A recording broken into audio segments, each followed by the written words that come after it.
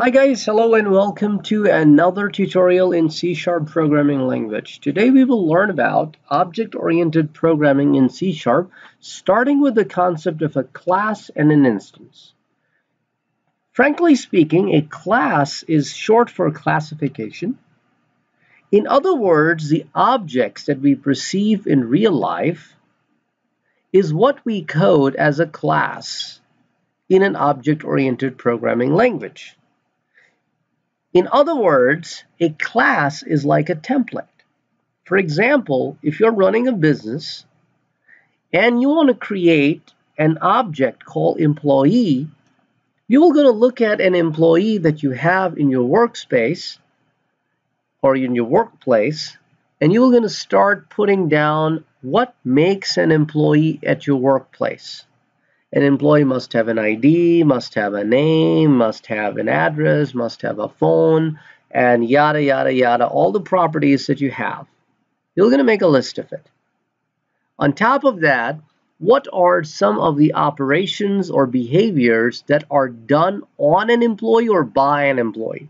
For example, and for an employee, you need to change his or her address or his or her phone number or his or her any other property, department, salary, hourly pay, whatever it is, all of these are considered to be business behaviors. Then you draft a program which you call employee. So you basically name your template the same after a real world object. After you draft a template, an employee template, then you start listing all the properties that make an employee in your business as variables and all the business processes which are needed by that employee are then declared as the proper as the behaviors or functions that can only work on that object. So that's what a classification is. Then what is an instance? Instance is another kind of an object. So one kind of an object is classification. An instance is a kind of an object which is an implementation of the template. For example, a typical template says an employee must have an ID, must have a name, must have age, must have date of birth, must have date of hire, all of these are templated properties of an employee. But when you say Sam Green, born June 30th, 1995, hired January 1st, 2018, all of these are special, specific implementation of those properties which you templated in the class. Now we are talking about an instance of the class. Or in other words, a variable whose data type is a class is called an instance. Instances have two different things that we're going to be looking at later on as we start to work with object-oriented programming. And instances have a declaration and an instantiation. So together, instantiation allows an instance to not only be declared, but also to allocate memory and also to get some values in that memory space. So it's a combination of a lot of things that you have to keep in mind whenever you do object-oriented programming. Now what we're going to do is we will learn how to create a class in C Sharp. All you need to do is you right click on your project, you go under add, you go under new item.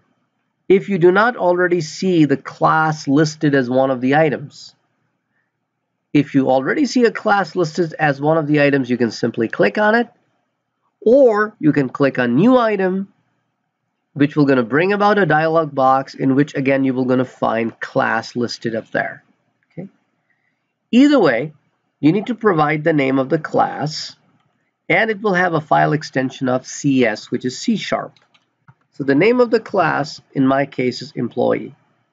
As I click add, you will notice that inside my Solution Explorer, inside my project, I have a new entity called employee.cs. If you double click on it, it will going to open employee.cs and here you can see the name of the class and the name of the program they match exactly.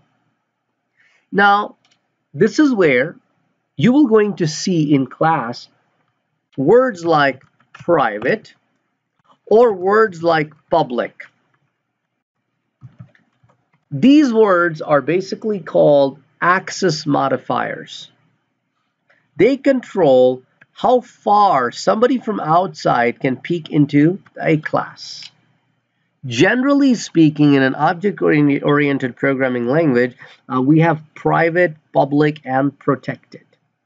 Private, public, and protected. But C-sharp has actually four class access modifiers. We have private, public, protected, and internal. So what is public? Public is that the access to the class is not limited to the class only. It's an open-ended access. Protected is access to the class is limited to the class and any of its children classes or derived classes, which we're going to learn about when we learn about inheritance.